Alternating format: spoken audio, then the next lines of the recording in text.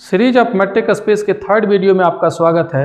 मैं इस वीडियो में सूडो मैट्रिक स्पेस के बारे में बताऊँगा, उसका कुछ एग्ज़ाम्पल बताऊँगा। इस वीडियो के पहले मैं मैट्रिक स्पेस पर टू वीडियोज़ अपलोड कर चुका हूँ। डिस्क्रिप्शन में उसका लिंक मिल जाएगा, आप वहाँ से उसको देख सकते हैं या ऊपर आ रहे आई बटन को भी प्रेस करके मैट्रिक स्पेस के प्लेलिस्ट में जा सकते हैं। तो हाय फ्रेंड्स आप देख रहे हैं YouTube channel M A classes मैं हूँ सुनील कुमार। इस चैनल पर मैं मैथमेटिक्स का ही वीडियो लेकर के आता हूँ। आप यदि मेरे चैनल में पहली बार आए हैं या अभी तक चैनल को सब्सक्राइब नहीं किए हैं तो सबसे पहले सब्सक्राइब कर लीजिए और बेल आइकॉन को भी ऑन कर लीजिए ताकि लेटेस्ट वीडियो का अपडेट मिलते रहे। यदि ये वीडियो आपको पसंद आता है, अपने फ्रेंड के साथ ज़रूर शेयर कीजिएगा, लाइक कीजिएगा और कमेंट करके अपना फीडबैक अवश्य दीजिएगा। तो चलिए शुरू करते हैं इस वीडियो को। मेरे चैनल के वीडियो देखने के लिए आप एम क्लासेज को क्लिक करें। एम क्लासेज को क्लिक करने के साथ होम पेज खुल जाएगा। होम पेज में आप प्लेलिस्ट में जाए। प्लेलिस्ट में आपको डिफरेंट टॉपिक्स का वीडियोज़ मिल जाएगा। आप जिस टॉपिक के वीडियो देखना चाहते हैं, उस पर क्लिक करें। जैसे आप सिंप्लेक्स मेथड का वीडियो देखना चाहते हैं, उस पर क्लिक करें। अब सिंप्लेक्स मेथड पर जो भी वीडियो यहाँ आपके सामने आ जाएगा, आप उसको देख सकते हैं। देखो, सबसे पहले हम लोग सुडो मैट्रिक देखते हैं, जिसको सेमी मैट्रिक स्पेस भी कहते हैं।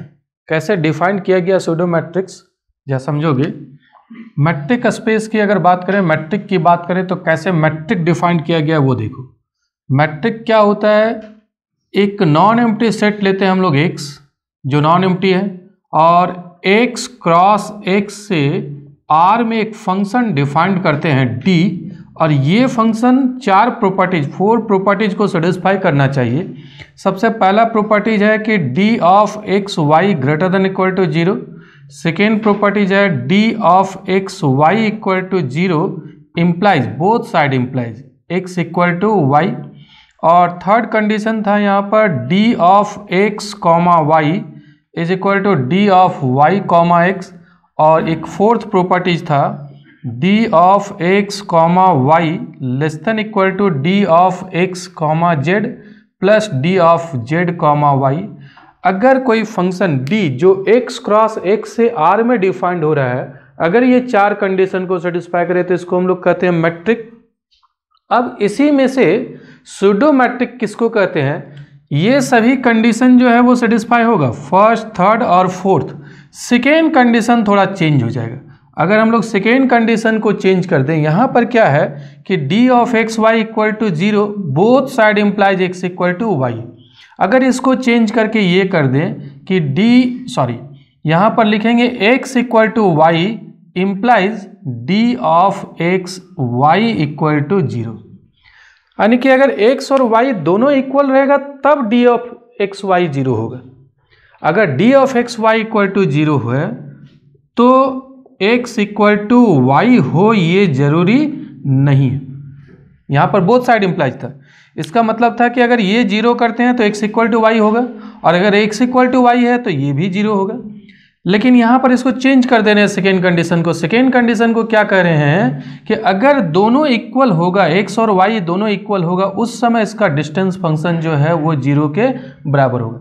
यानी कि तुम ऐसा भी कह सकते हो इसको कि d of x x equal to zero अगर दोनों इक्वल है x equal to y means दोनों यहाँ पर इक्वल है तो अगर दोनों इक्वल होगा, उस समय इस फ़ंक्शन का वैल्यू ज़ीरो होगा। लेकिन अगर ये फ़ंक्शन का वैल्यू ज़ीरो है तो ये ज़रूरी नहीं है कि x इक्वल टू वाई हो ही। ये ज़रूरी नहीं है। लेकिन अगर ये दोनों इक्वल है तो निश्चित रूप से ज़ीरो होगा। तो ये सेकेंड कंडीशन को चेंज करके हम लोग अगर इसके बदले ये लिख दें तो जो मैट्रिक बनेगा मतलब यहाँ पर जो डी फ़ंक्शन जो डिफाइंड हुआ है, उस फ़ंक्शन को हम लोग कहेंगे सुडो मैट्रिक इस सिर्फ़ सेकेंड कंडीशन को चेंज किया जा रहा है। बाकी फ़र्स्ट थर्ड और फोर्थ जो है, वो बिल्कुल सेम है। यहाँ पर अब देखो डेफिनेशन क्या है। कि x be a non empty set let x, y, z belongs to capital x be arbitrary कोई भी तीन मेंबर हम लोग ले लिए हैं। लेट अस डिफाइन ये function d from x cross x to r satisfying following properties d जो फ़ंक्शन है, x क्रॉस x से r में डिफाइंड कर रहे हैं, और ये चार कंडीशन कौन कौन सा है, ये देखो। सबसे फ़र्स्ट कंडीशन तो है कि d of x comma y greater than equal to zero जो पहले भी था मैट्रिक स्पेस में। सेकेंड कंडीशन देखो, यहाँ चेंज हुआ है कि x equal to y implies d of x y equal to zero both side यहाँ पर नहीं है. बोथ साइड इंप्लाइज नहीं है. सिर्फ़ सिंगल साइड कि दोनों अगर इक्वल रहेगा, उस समय डिस्टेंस फ़ंक्शन जो है वो ज़ीरो के बराबर होगा. ठीक है? ये सेकेंड कंडीशन यहाँ चेंज हो गया. और थर्ड कंडीशन वही है d of x y equal to d of y x जिसको सिमेट्री कहते हैं. और डी फोर्थ कंडीशन भी वही है. D of x y less than equal to d of x z plus d of z y जिसको triangle inequality कहते हैं. तो अगर d function x cross x से आर में डिफाइंड हो रहा है, जो ये चार कंडीशन को सेटिस्फाई करे then d is called the pseudometric on x और the set x together with the pseudometric d x और डी को अगर एक साथ हम लोग लिखेंगे तो it is called the pseudometric space अब जरा ध्यान देना। यहाँ पर इसको ज़रूर ये चीज़ याद रखोगे कि d of x comma x equal to zero होगा। सेकेंड कंडीशन यही बता रहा है कि x इक्वल टू वाई मतलब हम लोग अगर x और y दोनों को इक्वल कर दें, उस समय इसका वैल्यू ज़ीरो होगा। यानी कि x और x अगर कर देते हैं तो उसका वैल्यू ज़ीरो हो जाएगा। लेकिन अगर d of x y zero है तो ये ज़रूरी नहीं है कि x इक्वल टू वहाँ पर y होगा। एक एग्ज़ाम्पल से भी समझाएँगे अभी हम, ठीक है? अब जरा ध्यान देना, अगर कोई मैट्रिक स्पेस है तो क्या वो सूडो मैट्रिक स्पेस होगा? अगर कोई मैट्रिक स्पेस है अगर ये मैट्रिक स्पेस है, मैट्रिक स्पेस में तो ये कंडीशन फॉलो कर रहा है, ये चारों कंडीशन फॉलो कर रहा है तो क्या ये सूडो मैट्रिक स्पेस होगा? या समझोगे? तीन कंडीशन तो सेम है। सेकेंड कंडीशन देखोगे, सेकेंड कंडीशन उसका कहना है कि दोनों अगर एक्स और वाई दोनों इक्वल होगा तो डिस्टेंस फ़ंक्शन का वैल्यू ज़ीरो होगा। क्या ये बता रहा है कि x इक्वल टू अगर y है तो उस समय डिस्टेंस फ़ंक्शन का वैल्यू ज़ीरो है ना? तो इसका मतलब कोई भी अगर मैट्रिक स्पेस है तो निश्चित रूप से सूडो मैट्रिक होगा। लेकिन अगर सूडो मैट्रिक है तो क्या वो मैट्रिक स्पेस होगा? वो ज़रूरी नहीं है कि अगर सूडो मैट्रिक है तो वो ज़रूरी नहीं है कि वो मैट्रिक स्पेस हो, क्योंकि सूडो मैट्रिक है मीन्स क्या हुआ कि एक्स इक्वल टू वाई लिखा हुआ है तो उस समय d of x y equal to zero होगा। लेकिन अगर d of x y equal to zero है तो ये तो नहीं कह रहा है सूडोमेट्रिक्स कि उस समय एक्स इक्वल टू वाई होगा। ये तो नहीं कह रहा है। तो ये नहीं कह रहा है और यहाँ तो दोनों चीज़ होना चाहिए। मैट्रिक स्पेस के लिए दोनों चीज़ें होना चाहिए। तो सूडोमेट्रिक है देखो, ये सुडोमेट्रिक है तो सुडोमेट्रिक में एक्स और वाई दोनों इक्वल है तो उस समय डिस्टेंस फ़ंक्शन का वैल्यू ज़ीरो है। लेकिन डिस्टेंस फ़ंक्शन अगर ज़ीरो रहे तो एक्स इक्वल टू वाई हो, ये तो नहीं कह रहा है सुडोमेट्रिक तो इसका मतलब अगर मैट्रिक सुडोमेट्रिक है तो वो मैट्रिक स्पेस हो, ये ज़रूरी नहीं है। लेकिन every pseudometrics sorry every metric space is a pseudometric space but every pseudometrics is not necessarily a metric space every pseudo, every metric space is a pseudometric space, but every pseudometric space is not necessarily a metric space. क्या ठीक है ये? अगर इसमें कोई भी confusion है तो इस एग्ज़ाम्पल से, इस क्वेश्चन से पूरा क्लियर हो जाएगा। यहाँ पर देखो क्वेश्चन क्या है कि let R be the set of real numbers एक सेट ऑफ़ रियल नंबर ले रहे हैं, और so that the function d एक d function R cross R से आर में डिफाइंड हो रहा है। और डिफाइंड बाई इस तरीके से डिफाइंड हो रहा है कि d of x comma y equal to mod of x square minus y square for all x y belongs to R इस तरीके से ये फ़ंक्शन डिफाइंड किया गया है। दिखाना है this is a pseudometric on R ये सुडोमेट्रिक होगा विच इज़ नॉट ये मैट्रिक ऑन आर ये सुडोमेट्रिक होगा, लेकिन ये मैट्रिक होगा, ये ज़रूरी नहीं है। यहाँ पर दिखाना है कि मैट्रिक नहीं होगा। ये सुडोमेट्रिक होगा, लेकिन ये मैट्रिक नहीं होगा, ये दिखाना है। तो जरा देखो सभी कंडीशन सोडोमेट्रिक का सेटिस्फाई कर रहा है या नहीं, जरा समझोगे इसको। सबसे पहले तो हम लोग लिख लेते हैं जो फ़ंक्शन दिया हुआ है, कि गिवन फ़ंक्शन इज़ यहाँ पर फ़ंक्शन इस तरीके से डिफाइंड किया गया है, कि d of x comma y is equal to mod of x square minus y square for all x comma y belongs to R अब सबसे पहले हम लोग कंडीशन देखते हैं कि चार कंडीशन जो है वो सेटिस्फाई करता है कि नहीं। सूडोमेट्रिक के लिए भी फोर कंडीशंस है। तो फ़र्स्ट कंडीशन ये तो मॉडलस है। Since x square minus y square ये मॉडलस है, ये always greater than equal to zero होगा। क्योंकि मॉड है मॉड तो हमेशा पॉजिटिव होता है। For all x y belongs to R implies इसी को यहाँ पर डी फ़ंक्शन कहा गया d of x comma y this is greater than equal to zero for all x y belongs to R तो फ़र्स्ट कंडीशन तो satisfy हो रहा है। सेकेंड कंडीशन ये कहता है कि हम लोग एक्स और वाई दोनों अगर इक्वल मान लें एक्स इक्वल टू वाई मान लें, तब क्या होना चाहिए? डी फ़ंक्शन का वैल्यू ज़ीरो होना चाहिए। तो x equal to y implies d of x comma y equal to क्या होगा? Mod x square minus y square है यहाँ पर। तो x और y दोनों इक्वल है। तो y के जगह भी हम लोग क्या लिख सकते हैं यहाँ पर? x लिख सकते हैं तो यहाँ पर पहले ऐसे लिखो कि let x equal to y x equal to y हम लोग मान लेते हैं। अब नाउ अब हम लोग देखते हैं कि d फ़ंक्शन का वैल्यू क्या होगा। तो x और y जब दोनों इक्वल है तो हम लोग x के जगह भी y लिख सकते हैं। Y square minus y square और इस दोनों का डिफरेंस का वैल्यू कितना आ जा रहा है? ज़ीरो तो x इक्वल टू वाई अगर मानते हैं तो d फ़ंक्शन का वैल्यू ज़ीरो आ रहा है। सेकेंड कंडीशन भी सेटिस्फाई हो रहा है। थर्ड कंडीशन हम लोग अगर देखते हैं तो थर्ड कंडीशन है d of x comma y is equal to mod of x square minus y square यहाँ पर हम लोग माइनस कॉमन ले लेते हैं। तो माइनस कॉमन लेंगे Y square minus X square हो जाएगा। और ये मॉडलस का प्रॉपर्टीज़ है कि माइनस एक्स का मॉडलस इज़ इक्वल टू क्या होता है? एक्स का मॉडलस माइनस हटा सकते हैं। तो माइनस यहाँ पर हटा देते हैं mod of y square minus x square और अगर x square minus y square रहे तो डी ऑफ़ एक्स वाई है ये। Y square minus x square है। It is equal to d of y x तो सिमेट्री वाला भी प्रॉपर्टी सेटिस्फाई हो रहा है। अब हम लोग फोर्थ देखते हैं ट्राइंगल इनइक्वलिटी जिसको कहते हैं।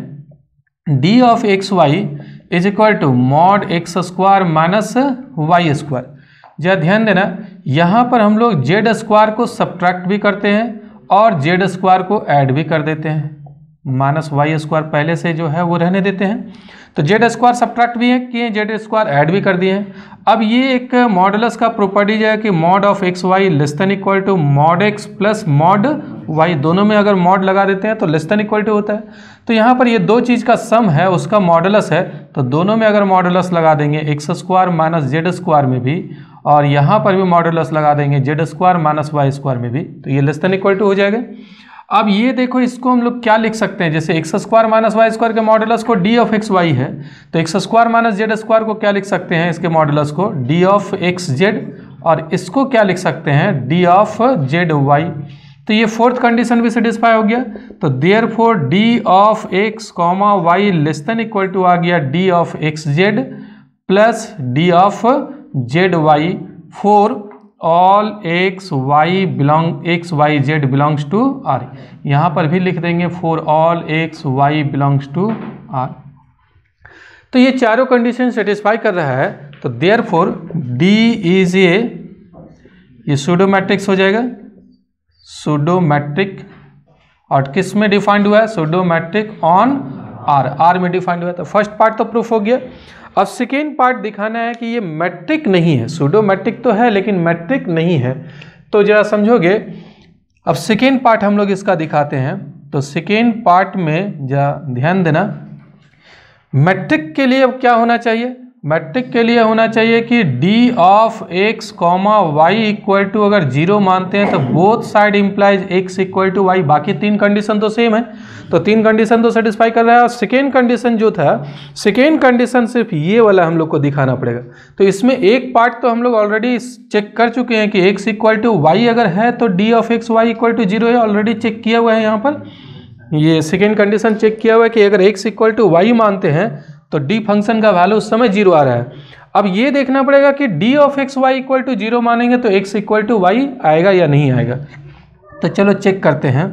मान लेते हैं कि d of x comma y equal to zero implies d of x y का वैल्यू है x square minus y square is equal to zero x square minus y square को हम लोग लिख सकते हैं। X plus y into x minus y is equal to zero अब यहाँ पर ज़रा ध्यान देना मॉड हम लोग हटा भी सकते हैं, क्योंकि मॉड का वैल्यू कितना है? ज़ीरो तो मॉड हटा भी सकते हैं x plus y into x minus y equal to zero हो जाएगा, और यहाँ पर x equal to minus y हो जाएगा, और यहाँ से एक्स इक्वल टू क्या आएगा? वाई आएगा।